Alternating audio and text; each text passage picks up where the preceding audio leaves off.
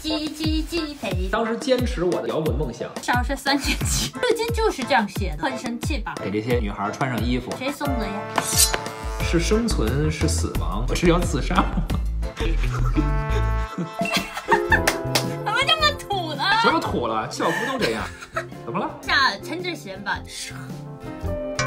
我们上学的时候流行特别长的裙子，现在呢短的不行不行。多短？这是去上学吗？昨天就看了有一个高中生比这个还短了，在这儿这样走路。冬天的时候呢，就这样子的。你看我这校服怎么样？老公也上过中学呀，多新鲜！校徽为什么挡住了？太优秀，怕吓着你。是不是怕给你们学校丢人呢？挡住了。跟大家聊一聊上学的时候那些美好的回忆。看看中国和韩国有什么区别？猜对方的东西是什么？你都准备了什么东西啊？文物。你家还有文物？学习的东西。那个叫文具。文物是啥？故宫看的那些就是文物。哦，那我先来吧。那个嗯呀，口香糖。你怎么知道的？小时候也有。这不答题卡吗？哦，太简单了。这个我觉得你可能猜不到。戒指会这么简单吗？啊，不知道。缝衣服的时候用那个针啊扎进去的时候，拿它戴在这个手上往里边一顶，顶针儿。为什么进去呢？万一那个布比较厚，不容易扎透。行吧。智慧。这个你肯定不知道。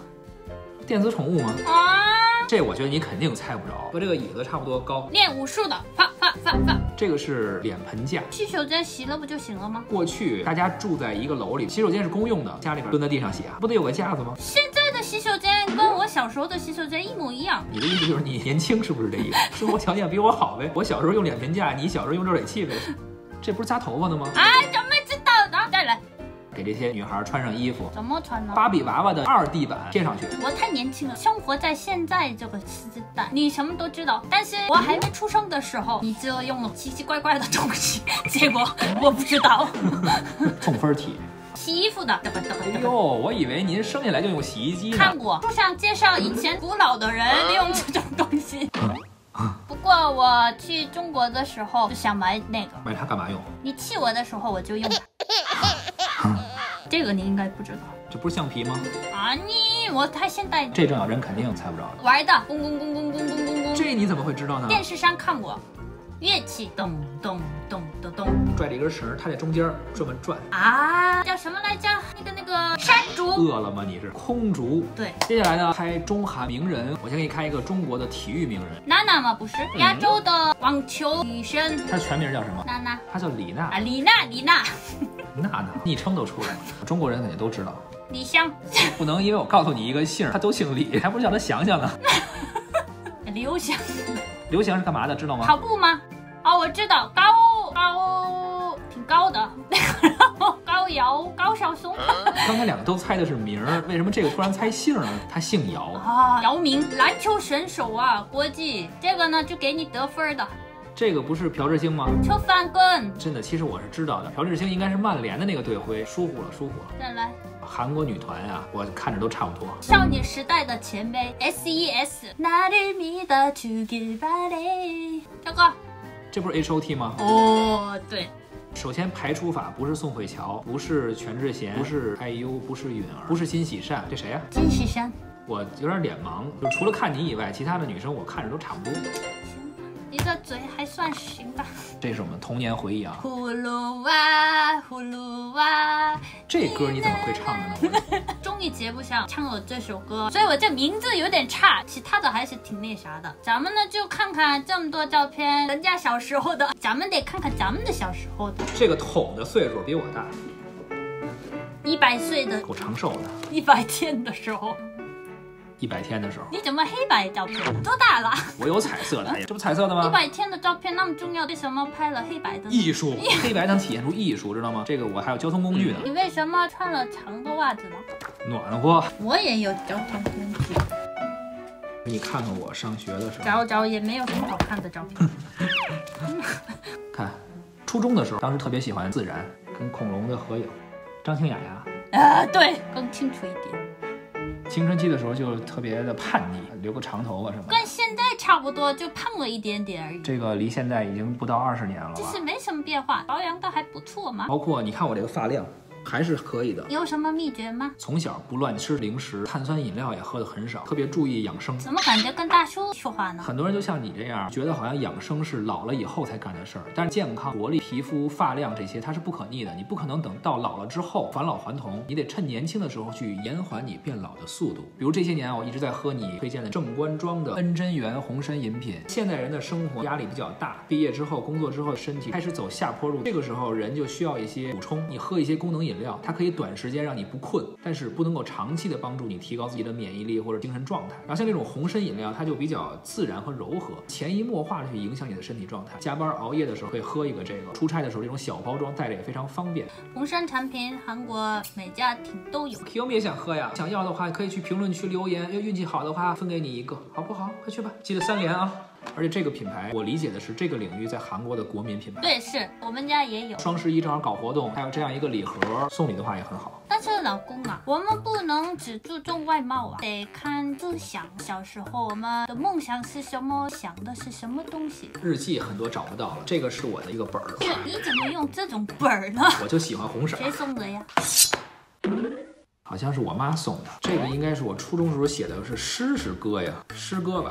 不清楚为何进入，不知道怎样退出，决定的权利并不在我，是谁把我作为赌注？诗的名字叫《游戏人生》。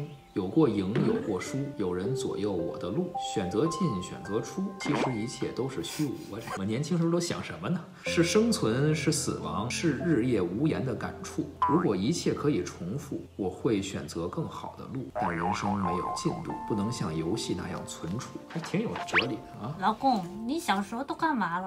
哎，这个是我写的日记，私密的角落，不能给别人看。其实这个时候完全没有理由去写一些文字，也想过是否可以以一种简单的方式去结束这一切。我是要自杀吗？老公，你干嘛呀？人的一生充满意外，就像人的出生本身就是一个意外。为什么我要来到这个世界？我来干嘛？人的一生充满不幸复。杂的人。其实这个开始本身就是一个不幸。我小时候都想什么呢？如果我没来呢，可能会更好。我实在是看不下去了，我差点在我初二的时候就离开了这个世界。哎，好了，看看郑小珍年轻时候都想什么呢吧。这个小学一年级的时候， 오늘은 나의 생일이었다. 그런데 사람은 적은데 선물은 많았다. 你是个现实主义，我是个浪漫主义。 왜냐하면 선물을 친구들이 두 개씩 사왔기 때문이다. 就你这样的日记，我小学一天能整出一百篇都没问题。我小学一年级的时候已经有跟中国的缘分， 음식을 먹으면서 중국말도 듣고 즐겁게 선물을 풀어보았다. 不知道为什么当时听了中国话，至今就是这样写的，很神奇吧？小学一年级就开始有了缘分。和中国的缘分，除了小学的以外呢？我拿的都是小学小学毕业之后就再没写过作文了是吗？文学的巅峰就是小学一年级，后来就再没超越过。这是二年级的时候，文学造纸，看看进步了多少。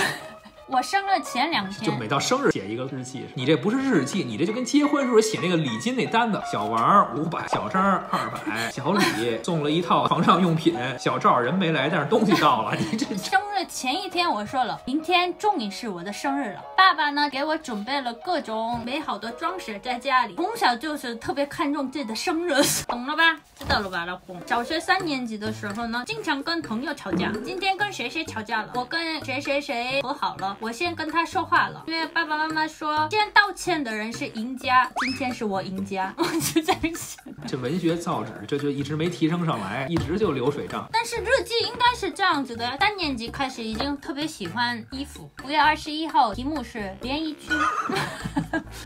五月八号韩国的父母节，五月七号几年级啊？还是小学三年级。文学作品高产的一个时期啊！父母节我准备了礼物，写一封信。老师说写一封信比礼物更好一点。换来了什么连衣裙、蛋糕，啊，对，就是空手套白狼这件事儿，从三年级开始，郑小珍就已经得心应手了。小时候太可爱，单纯的女孩嘛。还有跟朋友之间写的信。高中的时候，最后一个环节呢，如果能回到中学时代，你最想做的一件事儿是什么？不要看别人的脸色，更自信的、大胆的你。想做什么呀？当时没做比。如说想当爱豆啊什么的，我那时候那个了，就当少女时代了。那少女时代早就凉了。你呢？如果能够回到中学，我最想干的事儿就是一定要去趟韩国，找到张小晨，提前认识一下。挺感动的。那么早认识我干嘛呀？对你说，以后没事别来中国留学，放过一个无辜的少年。好，第二道题，如果回到十八岁，当时你特别不在意，但是现在回想起来觉得太重要的事儿，对自己身边的朋友更关心一下。当时对我来说，学业更重要，不怎么保持联系，成功最重要。失败之后才发现，哎呀，朋友还很重要。但是呢，我的性格呢，有一个最好的朋友一两个就可以了。我特别支持你这一点，真正能够成为朋友的，不管过多少年，都会是朋友那种。那你呢？我觉得那个年龄最重要的其实还是学习。对于普通人家的孩子来说，可能成绩好真的可以改变更多。如果回到小时候见到当时的自己，只能对他说一句话，会说什么？我可能会说早点买房，健康最重要。不过我觉得要真的回到小时候的话，跟当时的我说什么，当时的我都不会听的。对，当然，每个人都有自己的人生，都要自己去体验。爸爸每天给我唠叨，没用。哎，等会儿我的吉他呢？